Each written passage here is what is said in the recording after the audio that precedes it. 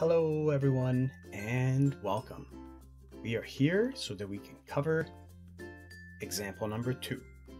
Before we carry on, I just want to say a little thank you to Pietro Amoroso for reminding me that I haven't uploaded example number two. Number one, number three are there, so here's us finishing up the trifecta. A little bit of a reminder of what we're doing here. Example number two has to do with topic number five. I'm going to link that for you in the description of the video, that is topic number five, as well as right here, or wherever else YouTube links uh, these things these days. But what we're going to do in our example today is we're going to spend a bit of time with the yada yada part of this, that is, we're going to figure out how to eventually come up with the fire resistance rating for the floor and the roof for this building. Okay? We're going to spend a, lot of time on the yada yada part of this on how to do it.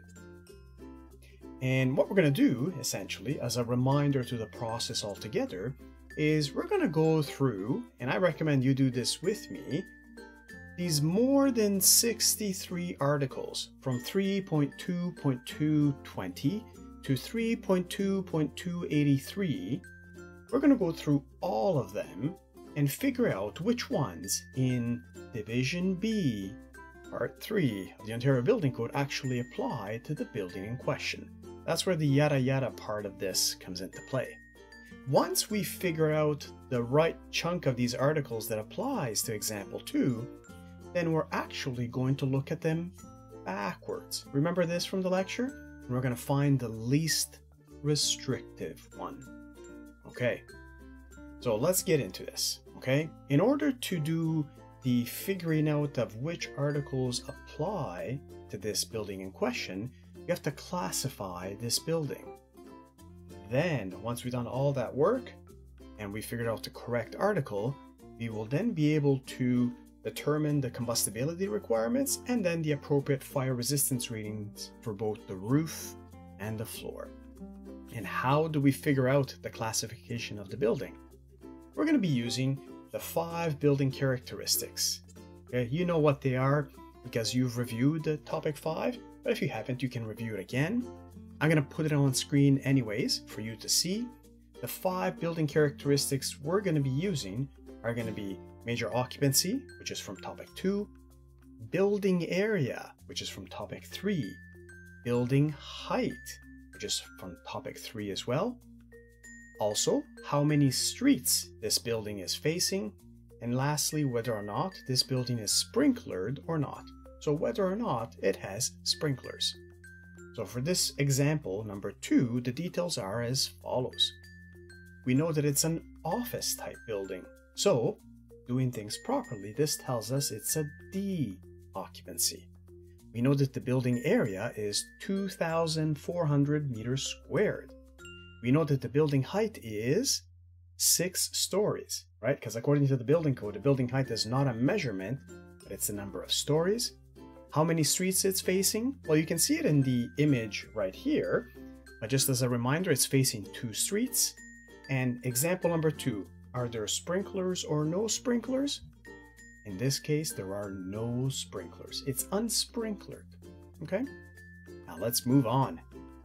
Now that we know that the major occupancy is D, because this is an office building, we know that out of all of those of more than 83 articles that were mentioned earlier on, we actually have to look at only these ones. So starting at 3.2.249, all the way but not past 3.2.256. Those are the only ones that apply to D occupancies. How did I find them?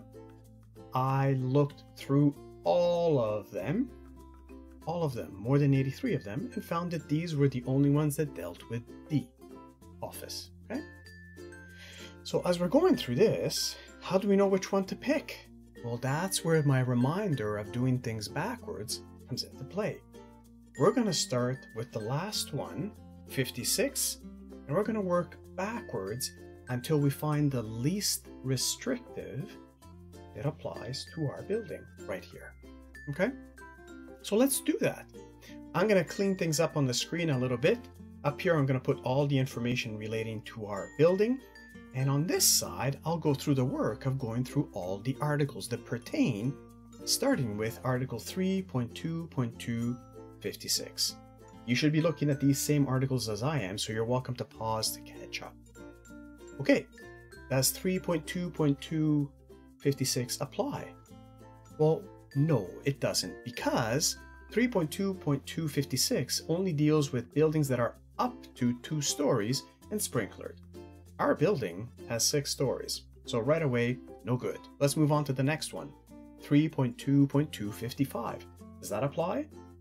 No, because it requires, that is 55, it only requires two stories. Our building still five, uh, six stories, right? So we reject that. How about we move on to 54? That too doesn't work, right? Because 54 is up to three stories and our building has six stories right here. So we go through a few bunch more. I skip them because they're no good. And I'm going backwards until I reach this one here, 3.2.250a.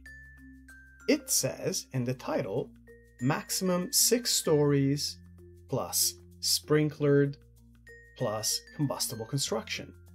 Is that applicable to our building?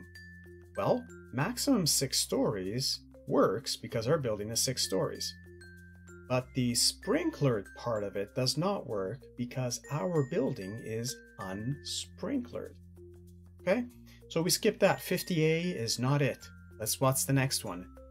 50, 3.2.250 says maximum six stories right here. So that's a maybe. It could be it, right? Because our building has six stories. So let's dive into this specific article. Let's look at this. What does it have to say? Well, I'm going to reproduce it on screen for you. So don't worry if I disappear. I'm still here. I'm just talking behind the portion of the building code I put on screen, which is this right here. As you can see, this here is a reproduction of Article 3.2.250. The way that you read anything in the building code when you reach it is you always start at the very beginning. So in this case, it's sentence 1, which specifically states that a building is classified as Group D. Uh, a building classified as Group D is permitted to conform with sentence 2, provided it meets these two um, clauses. So the first one is that it's not more than six stories in building height, which is okay. That's what we have right here, six stories. Good, check. The second one is that it conf com uh, conforms with the requirements in the table below. That's table 3.2.250. Okay, so that's a good thing because that's what we're going to do. If what we have in this table uh, complies with the requirements of our example, then that's okay. So let's move on to looking at this table, table 3.2.250.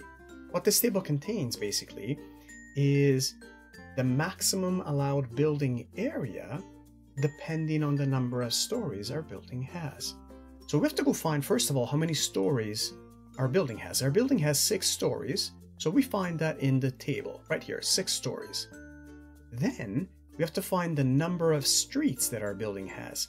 Our building has two streets, so we have to find that in the table as well. And where, where those two meet will tell us the maximum allowed area. Look at that. Good news. 3,000 square meters. That is more than 2,400 square meters, which means that our building is allowed to work within the confines of this article, of this sentence, and of this table. So, we're now allowed to move on to sentence number two. Okay, because we met all the requirements in sentence number one. So, what this article basically says is that now that sentence number one has been uh, found to be acceptable, this building shall be of non combustible construction. So that's the first requirement we find. And then look at this right here. And here we then also find the requirements for the fire resistance rating for the floor and the roof. They are one hour each, a minimum of one hour each, or as it said here, not less than one hour each. That's great news because that means that we've solved our example. And that's what we're going to do now. We're going to wrap things up. And here on this portion of the screen, I'm going to put my final answer. Okay? What we find from my final for this question is that we have first of all figured out through doing all the yada yada yada, right, the five building characteristics, that the appropriate article is going to be 3.2.250. Also, what we have found is that then this building right here, this example, shall conform with the requirements of 3.2.252. Okay, sentence number two, which means that it has to be of non-combustible construction. Furthermore, to figure out then what the fire resistance rating is of the floor and of the roof, what we found is that the floor shall not be less than one hour fire resistance rating, according to clause 3.2.252a, and the roof shall have a fire resistance rating not less than one hour, according to clause 3.2.250-2c. That's it. Okay? Excuse me. Now, I want you to consider this because it's important. Please consider the following. These questions are tough, especially when you've never done them before. And that's where practice comes into play. Okay, doing these many times, homework, if you will. Okay, I ran you through this fairly easily because I've done many of them, so I know exactly what process to follow. You can follow my same process or not. But don't forget, if you're finding this tough, it's simply because you're new at it, it's something new for you, and you simply need more practice, which is completely normal. Okay? Folks, that's it. I want to thank you so much for your time. Thank you for being here. Have a lovely day and take care.